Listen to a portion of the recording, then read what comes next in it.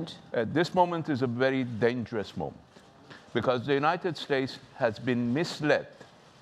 I believe President Trump, unfortunately, does not have good advisors. He's been waiting for Iranian government's uh, collapse since he withdrew from the nuclear deal. At that time, John Bolton promised him that maximum pressure will bring us to our knees within few months. Now, today, with John Bolton gone, unfortunately, somebody else is trying to mimic John Bolton and promised the president that killing Soleimani will bring people to dance in the streets of Tehran and Baghdad. You saw how many people danced. And then that continuation of maximum pressure uh, would bring us to our knees before his re-election campaign. I think uh, John Bolton was proven wrong. Now President Trump himself admits that had he kept John Bolton in office, we would be in World War VI.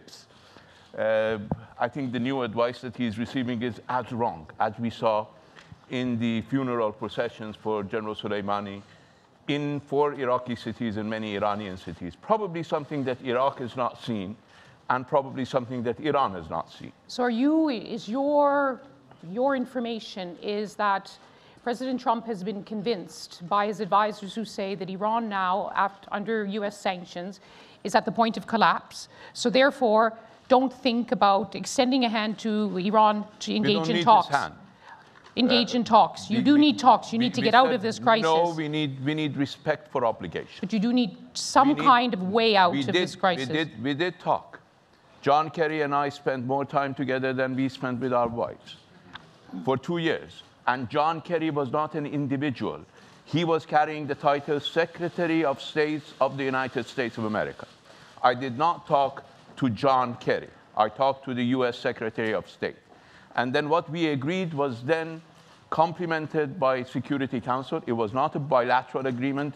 It was a multilateral agreement. And President Trump simply decided that he didn't like Obama, so he could leave. So, so there is no point, I mean, there is no point in talking over something you talked about. You don't buy a horse is, twice. Is there a possibility of moving toward the talks. In his State of the Union address, President Trump said, and I quote, We are here. Let us see which road they choose. It is totally up to them. No, actually, it's totally up to him whether he wants to take the United States uh, and lead a country that is lawless, that is lawbreaking, that does not respect this international agreement, that anybody who signs a deal with them would only, could only count for the next four years or the remainder of the presidency, or whether we want to deal with a country that can, in fact, uh, be following its own words. So that's, that's about the United States. But now we're talking about the Persian Gulf. Well, let me just ask you let one me... last question on this. Are President Macron or Shinzo Abe of Japan or even Vladimir Putin of Russia, are they coming to you and saying, we can help? we can help you to try to open talks again with the United States? It's not about opening talks with the United States. It's about bringing the United States back to the negotiating table that is already there. We meet every three months around that negotiating table. Until April 2018, uh, Brian Hook was at that negotiating table. He decided to leave. Now the United States can come back to the negotiating table. But unfortunately, uh, the suggestions by, by uh, Macron and by Abe and others have all fallen uh, uh, onto deaf ears because uh, President Trump, as I told you, has been convinced that we are about to collapse. So he doesn't want to talk to a collapsing regime. Uh, I think he is wrong. I think they, they say that they're not about regime change, but that's everything they want. Everything they want, and they have wanted that for the past 41 years. And they have failed for the past 41 years. They just have to admit that Iran is a reality in this region. Now, can we move to the region? Yes, okay. So, just one if diplomacy can't work, what about the military side? You have said that the attack on the two military bases in Iraq. One military base. One, I said one military one base. One military base, okay. The United States said two. two. That, that was it. That was it. That was it. That was your message, and that there would be no more revenge. Is that correct? Because we've heard no, different messages correct. from the Supreme Leader Ayatollah Khamenei and we and from the IRGC commanders. No, actually, that the revenge heard, would continue. You've heard the same message. One message is that there was a military attack uh, a cowardly military attack, excuse me for saying that, at, the, uh, at night against a civilian car carrying our general. That was an act of terror. Definition of terrorism. They couldn't face Soleimani at the war front, so they hit him when he was conducting a peace mission. We responded to one of the bases from which the attack had originated. And we informed the government of Iraq beforehand, and then we responded. The military response in self defense under Article 51 of the United Nations Charter was concluded. And that's it. That's it. But But we still hear warnings which make but- people nervous. But what the United States did, based on misinformation and disinformation, was that it raged a lot of people. A lot of people are outraged by what the United States did. And they're not our proxies.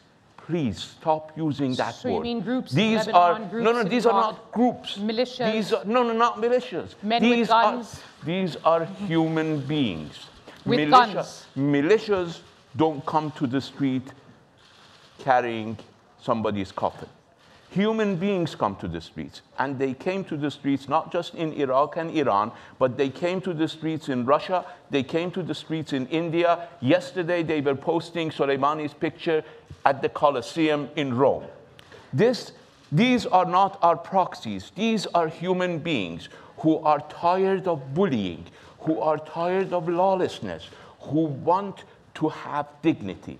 I, I didn't use the word proxy, you did, so you put it on the, you put it on the agenda. You use, you use Yes. all sorts of words, militias, proxies. But just, just to be clear, the revenge of the, of the Islamic Republic of Iran is over. No. Even- No.